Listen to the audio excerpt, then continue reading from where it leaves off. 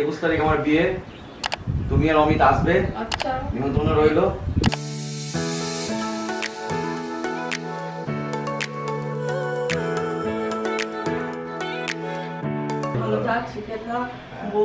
এই ধরনের বন্ধুদেরকে বিনা ভাবনা চিন্তা করে জীবন থেকে সরিয়ে দেওয়া উচিত? আরে আমাদের আজকের গেস্ট চলে এসেছে। আমাদের আজকে স্পেশাল গেস্ট এসেই আগে দোল্লাতে বসে পড়েছে। আমি জানতাম তুই দোল্লাতেই বসবি। ওই জন্য ওখানে আমার জামা কাপড় থাকে আমি তুলে রেখেছি।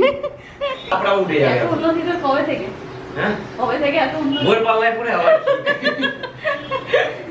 তোমাদেরকে আলাপ করিয়ে দিই ও হচ্ছে আমাদের বন্ধু মানে আমার বন্ধু আর কি। একে তোমরা দেখেছিলে সিকিমে? সিকিমে ট্রিপে ছিল ট্রিপে ছিল। হ্যাঁ ওকে তোমরা সিকিম ট্রিপে ছিল না আমাদের সাথে পুজোতেও ঠাকুর দেখতে বেরিয়েছিল। হ্যাঁ। হ্যাঁ হ্যাঁ হ্যাঁ পুজোতে ঠাকুর দেখতে হ্যাঁ। বেরিয়েছিল। তো ওর হচ্ছে বিয়ে তোর কবে বিয়ে রে? একুশে এপ্রিল।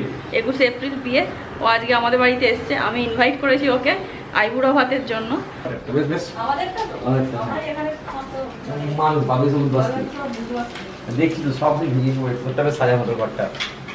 এটা আমার মাটি নি মাটি দিয়ে দিয়ে এটা আমার অনেকদিনের ইচ্ছে ছিল একটা মই তো মই তো হ্যাঁ মই তো মই তো মই তো সোডা সোডা দেওয়া আর চিনি আমাদের মজিটা তৈরি হচ্ছে।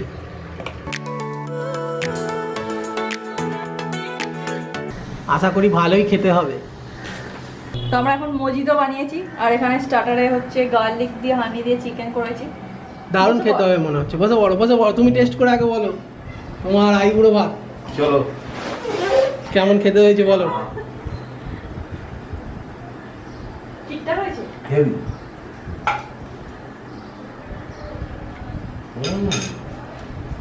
সবই ভালো? ভালো আছে?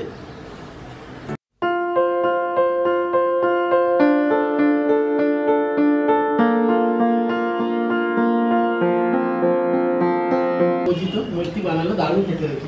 আর হানি চিকেনটাও খুব সুন্দর খেতে হয়েছে। এটা হলো ম- মৈত্রী স্পেশাল মই আমাদের মোটামুটি কতদিন পর দেখা হলো সিকিম লাস্ট দেখা হয়েছিল। সিকিম লাস্ট দেখা পুজো, পুজো। দুর্গা পুজোর লাস্ট দেখা হয়েছিল। তারপর আবার এখন দেখা হলো। কেমন লাগে আমার বাড়ি এসে হেভি লাগছে বাড়িটা খুব গুছানো খুব সাজানো। বিয়েতে যেতে নেই মা তাও যাবে। হ্যাঁ যাবে না কেন? অনেকেই তো যায়। সবাই যায় এখন সবাই যায়।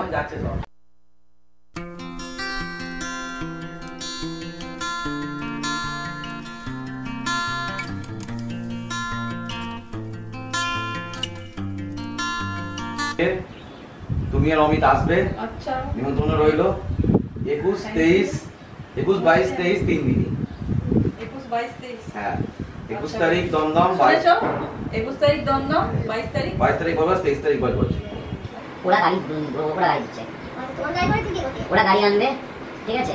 গাড়ি এতে দুটো গাড়ি আনবে। দুটো না তিনটে লোক ড্রাইভার থাকবে আর দুটো ওদের লোক থাকবে। দিয়ে এসে গাড়িটা নিয়ে আসবে। অনেকক্ষণ ধরে আমরা গল্প টল্প করলাম কৌশিকের সাথে। তারপর এখন খাবার সময় একটু দেরি হয়ে গেছে। আর আমরা গল্প করতে করতে চারটে বেজে গেছে। অ্যাকচুয়ালি অনেকদিন পর দেখা সাক্ষাৎ হয়েছে তো ওই জন্য অনেক মনের প্রাণের কথা সব হচ্ছে তাহলে আস্তে আস্তে আমাদের খাবার রেডি হোক। তো ফাইনালি এবার বিরিয়ানিটা আমি ওপেন করছি। উফ। কি গন্ধ বিরিয়ানিটা। আবার গন্ধটা শুকে গেছে দারুণ হয়েছে দারুণ তাই না? ও আরসলান আরসলান সবেতেই ছবি তুলে রাখছি ছবি তুলে বউকে পাঠিয়ে দিচ্ছে। ছোট দেখে একটা পিস দে তাহলে। ছোট কেন? ছোট কেন খাবে? যাবে না। হ্যাঁ? আমি কম খাচ্ছি পেটটা বেড়ে যাচ্ছে বউ বলছে পেট এত বাড়ানো দৌড়ে নিবি। এখান থেকে যাওয়ার সময় দৌড়ে দৌড়ে পেট এত বাড়ানো যাবে না। আমি ডিম ভাজা ম্যাগি তারপরে আমি। ডিম ভাজাটা পারি না। আমি আমি ম্যাগি চাও আমিও পারি। তুই তো রান্না করতে পারিস আবার কি আছে?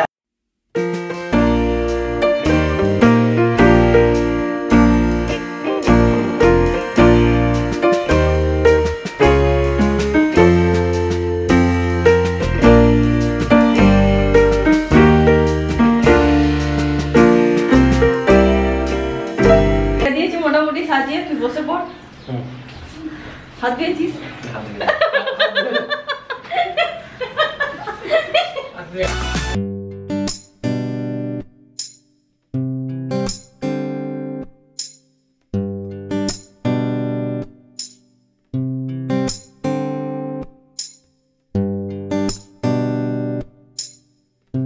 সেখানটা বউ নিয়ে দশটা বছর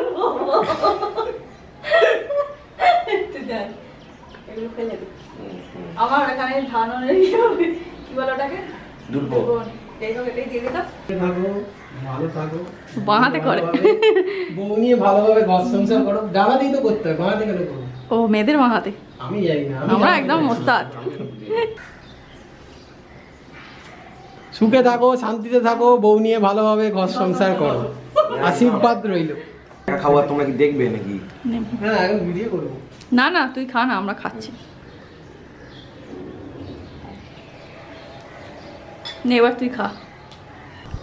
এটা কি জিনিস? এটা হচ্ছে মশলা ফিশ ফ্রাই এটা ফিশটাকে মশলা দিয়ে পুরো ম্যারিনেট করে রেখেছিলাম তারপর ওটাকে ভেজে নিয়েছি। আর এটা হচ্ছে আহ, পটলটাকে ভালো করে মশলা দিয়ে ভেজে রেখেছিলাম এটা খেয়েছিস তো? কেমন হ্যাঁ এটা ভালো হয়েছে বেশ বেশ ভালো হয়েছে।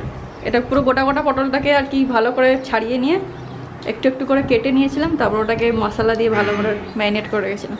আমি এখানে যে যে রেসিপিগুলো করেছি সেগুলো সবই ম্যারিনেট করে রাখা ও বাড়িতে রাখা ছিল সকালবেলা এনেছি ঝটাপট করে নিয়েছি। এখানে কিছু কোনো জোগাড় ফোগাড় করিনি।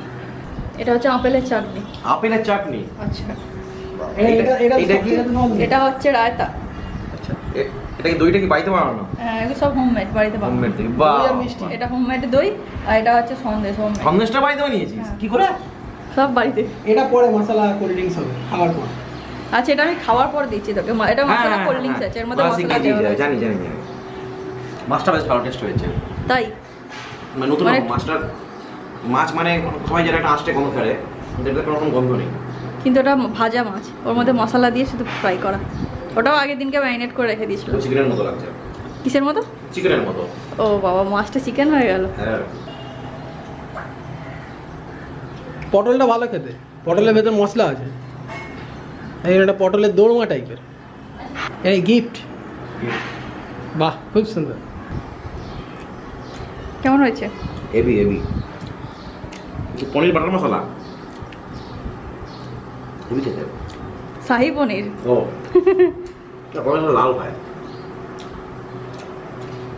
আমাদের বাড়ির এই দুটো হচ্ছে মানে কমন খাবার। যেই আসে আমার বিরিয়ানি আর- চিকেন চাপ আমার বউ হচ্ছে ফেভারিট খাওয়া হচ্ছে বিরিয়ানি বলছে বিরিয়ানি আমাকে যদি সকালে ব্রেকফাস্ট হলে বিরিয়ানি খাবে? খেয়ে নেব। রাত্রে শুয়ে পড়েছি কোনটা বিরিয়ানি খাবি? আমি করে বিরিয়ানি খাই আমার বউ বিরিয়ানি মানে টিভিং হয়েছে আমার বউ পাগলের মতো বিরিয়ানি খায় পাগলের মতো। নিয়ে আসবি। নিয়ে আসবে ডেটে গেছি নর্মাল এমনি চা মানে বিকালে ডেটে গেছি। দেখা করতে গেছে। দেখা করতে গেছি। বলছে বিরিয়ানি খাব। হ্যাঁ? এমনি বিকালে দেখা করছি বিকালবেলা ভাত খেয়ে এসছে তাও বিরিয়ানি খেয়েছে। আমি বিরিয়ানি পাগল।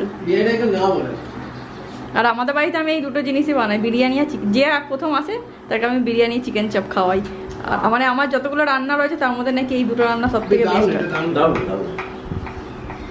আমার আমার একটাই প্রবলেম তুই রান্না করতে পারে না। আমার দুঃখ।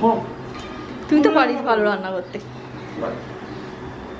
তুই রান্না করে খাওয়াবি। আবার যে কোনো একজন জানলেই তো হলো। যেমন আমাদের দুজনের মধ্যে আমার বর জানে না আমি জানি। আমি ওইগুলোই জানি তোমার বউ যেগুলো জানি। ডিম ভাজা ম্যাগি চা। ডিমটা পারি না ম্যাগি চাটা পারি। আর বউ ডিম ভাজাতে পারে? ডিমের কারও ডিম ফাটিয়ে ভাজা নয় ডিমের পোচ ডিমের পোচ তারপর চা ম্যাগি। স্যান্ডউইচ পারে। তোমার শেখার ইচ্ছা নেই তোমার শুধু খাওয়ার ইচ্ছা আমি বসে বসে খাব। খেতেই ভালোবাসি রান্না করতেও ভালোবাসি রান্না দিয়ে খাওয়া ভালো লাগবে খেতে। বিরিয়ানির সাথে চিকেন চাপটাই বেশি ভালো যায়। আর এই চিকেন চাপটা আমি তুমি মানে দোকানে যে চিকেন চাপগুলো আমরা খাই সাধারণত তার থেকে ওই বরঞ্চ ভালো। দোকানে তো আজবাই জিনিস করে দোকানে তেলটা দেয় থার্ড ক্লাস তেল দেয় আমার ঘরে কেমন করে আমি স্বাদের কথাও বলছি। হুম, হুম। দোকানে হয়তো বিরিয়ানিটা একটু বেটার হয় কিন্তু চিকেন চাপটা ভালো আমি কখনোই লাগে না। কেমন হয়েছে বিরিয়ানিটা? ভালো হয়েছে। এদিকে তাকিয়ে বল। চিকেন চাপটা আরও ভালো হয়েছে। আর বিরিয়ানিটা একদম পুরো লাইট ঝরঝরে। খুব টেস্টি হয়েছে।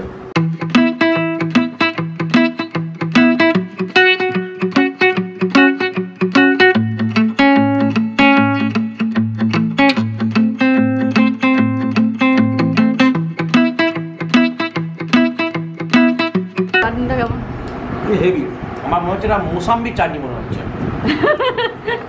এর মধ্যে তোর আপেল দেওয়া আছে তার মধ্যে ওই লেবুর যে জিসটা আর কি বাইরের অংশটা সেটাকে চেপে দেওয়া আছে। এক্স্যাক্টলি অরেঞ্জ পিল তার কতটা পাচ্ছি। অরেঞ্জের জুসও দেওয়া আছে। বলছে টপস স্কোর নাকি চাটনিটা? চাটনি সব থেকে বেস্ট আপেলের চাটনি আমি এর আগে কখনো বানাইনি এই প্রথম বানালাম। তুমি অনেক কিছুই ফার্স্ট মানে এখানে বানাইনি বানিয়েছি বাট এই শ্বশুর বাড়িতে বানাইনি তো আমাদের মোটামুটি খাওয়া হয়ে গেছে কৌশিক এখনও খাচ্ছে।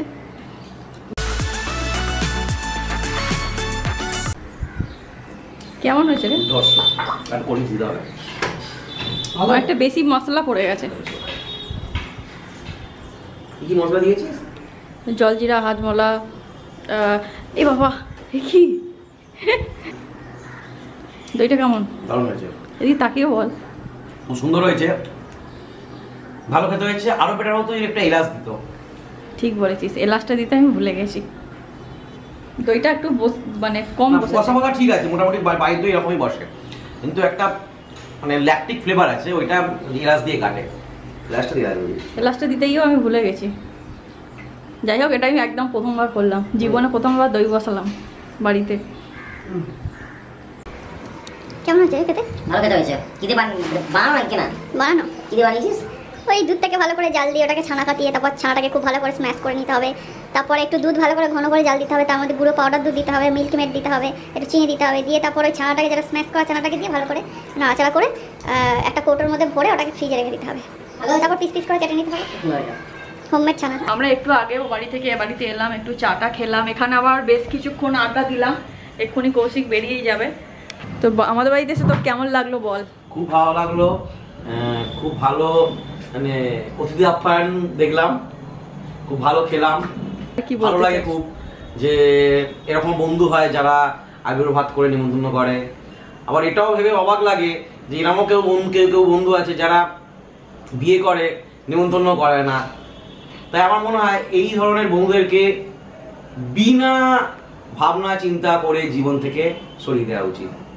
ও এসেছে আমাদের বাড়িতে আমি খুব খুশি হয়েছি আমি তো ভাব ভাবছিলাম যে হয়তো আসবেই না যাই হোক এসেছে আইবুড়ো ভাত ওকে দিতে পেরেছি এটাই আমার জন্য অনেক আমাদের দুজনের জন্য অনেক তাই না? আর আমাদের বাড়িতে সবাই খুব খুশি হয়েছে ওর আসাতে বন্ধুদের মতো তো এটাই বেঁচে থাকবে তাই না এটাই স্মৃতি হয়ে থাকবে তোমাদেরও হয়তো বন্ধু আছে অনেক সবারই বন্ধু বান্ধব জীবনে থাকে সবাইকে বন্ধু বান্ধব নিয়েই চলতে হয় সবাইকে নিয়েই চলতে হয় তবে কিছু কিছু ক্ষেত্রে দেখবে বন্ধুদের মধ্যে একটা রাগ বা হিংসা কাজ করে এটা এসে যায়। তো এটা নর্মালি আসে, সবার মধ্যেই আসে বা সবার ক্ষেত্রেই হয়, তোমাদের ক্ষেত্রে হয়েছে। আমার মনে হয় যে যখন দেখবে, ধরো তোমাদের কোনো বন্ধু এরকম আছে, যখন দেখবে যে তোমাকে ইগনোর করছে বা পাত্তা দিচ্ছে না তোমাকে একদমই এ করে দিতে চাইছে, দূরে ঠেলে দিতে চাইছে, তখন জানবে, তখন একদম মন খারাপ করবে না, তখন তুমি জানবে যে তুমি তাদের থেকে অনেক বেশি ওপরে উঠে গেছো তাই তাদের মধ্যে একটা জেলাস কাজ করছে বা হিংসা কাজ করছে বা রাগ কাজ করছে, যেটাকে বলতে পারো। এ দেখো, পৃথিবীতে তো আর সবাই সবার কপাল নিয়ে আসো, তাই না? সবাই তো আর মানে আমি যেটা চাইব তাই হবে না? যে আমি এটা চাইছি, এটাই হয়ে যাবে, ওটা চাইছি, ওটা হয়ে যাবে, এটা যে যার কপালে থাকে। যতই তুমি যাই করো না কেন, যাই চাও না কেন, তোমার কপালকে খণ্ডন করতে পারবে না। তাই আমার মনে হয় যে যার কপাল নিয়ে পৃথিবীতে আসে, যার কপালে যা লেখা আছে সেটাই হবে, সেটাকেই মেনে নাও। আর যাদের যাদের এই বন্ধু সার্কেলের মধ্যে তোমরা রয়েছো তাদেরকে একটাই কথা বলব যে এই সার্কেলের মধ্যে মানে বন্ধুত্বের জায়গার মধ্যে কোনো রকম রাগ বা হিংসা এটা একদমই পুষে রেখো না। কারণ আমাদের লাইফ খুবই ছোট্ট সীমিত একটা জীবন। একটুখানি জীবনের মধ্যেই আমাদেরকে পুরো আনন্দটাকে ভোগ করে নিতে হবে আমাদেরকে এখানে কাটাতে হবে সবার সঙ্গে মিশে থাকতে হবে। তাই আমার মনে হয় যে এই রাগ বা হিংসা এগুলো না থাকাই ভালো তাই সবাই মিলে বন্ধু হয়ে থাকাই ভালো। সবাই মিলে বন্ধু হয়ে থাকাই ভালো। এটাই আমার বলার বন্ধুদের উদ্দেশ্যে। একদম। আবার আসিস বউকে নিয়ে বিয়ের পরে। হ্যাঁ বউকে নিয়ে কিন্তু খুব ভালো লাগল। হ্যাঁ। খুব ভালো লাগল। মা কৌশিক বেরিয়ে যাচ্ছে। হ্যাঁ হ্যাঁ। কৌশিক বেরিয়ে যাচ্ছে। হ্যাঁ আসিস বউকে নিয়ে। বিয়ে টিয়ে করে ভুলে যাস না। হ্যাঁ। আমি তো বিয়ে করে সবাইকে ভুলে গেছি। হ্যাঁ। তাই না? হ্যাঁ। বিয়ে করে সবাইকে ভুলে যাস এরপরে বউকে নিয়ে আসবে। একদম একদম। ঠিক আছে আয়। সাবধানে যা। আবার দেখা হবে। খুব শিগগিরই দেখা হচ্ছে। আমাদের আরেকটা ট্রিপে যাওয়ার প্ল্যান হচ্ছে। তাই তো? হ্যাঁ এভাবেই যেন আমরা জীবনে এগিয়ে যেতে পারি চলতে পারি থাকতে পারি। তাই তো? যাচ্ছে, নিচে নিচে যাই ছেড়ে দিয়ে আসি। তোরা নিচে যা। নিচে চলো ছেড়ে দিয়ে আসি হ্যাঁ যাব এটা ধরো এটা ধরো ক্যামেরা ধরো। হ্যাঁ, হ্যাঁ। হ্যাঁ আমারও তো খুব ভালো লাগল। মানে কজন এখন আর করে? বাড়ির লোকই মানে এখন কজন আর ডাকলো? মানে দু একজন মাসি মেশো দু একজন ছাড়া তো সেরকম হয় না। সেখানে বন্ধুরাও ডাকে ভালো লাগে। পারফেক্ট চলো। আবার আসবে বউকে নিয়ে আসবে। হ্যাঁ। আমরা এই সবে ও বাড়ি থেকে এই বাড়িতে এলাম।